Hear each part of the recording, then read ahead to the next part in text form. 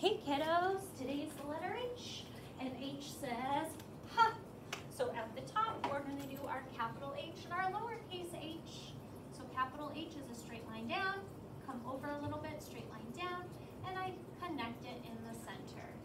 My capital, or sorry, lowercase h comes straight on down, then I come halfway back up and I arc it around. And there I have my capital H and my lowercase h. The word I wanna do for H is hat. So go ahead and you're gonna write hat with me. Lowercase h, go straight down, halfway back up, arc it around. Ha, a, a,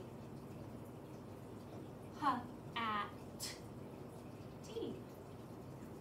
Then I'm gonna come over to my picture, or my, sorry, my box, and I'm gonna draw my picture of a hat. And I'm gonna draw like, kind of like a sun hat. Maybe. And then, okay, there's my hat. Remember, your drawings don't have to be perfect, you just have to do your best. Okay, have fun with it. I'll see you tomorrow. And you have a great day. Bye.